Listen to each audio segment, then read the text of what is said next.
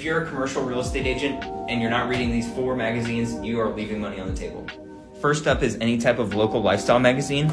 We're not reading for the content, we're going to read for the ads. If a local business has money to spend on advertising, they have money to invest in quality commercial real estate. Next up is the Commercial Investment Real Estate magazine put together by the CCIM Institute. This gives you all the information you need to be the most knowledgeable and educated broker in your market. The next type of magazine is one that talks about the type of buildings that you're dealing with.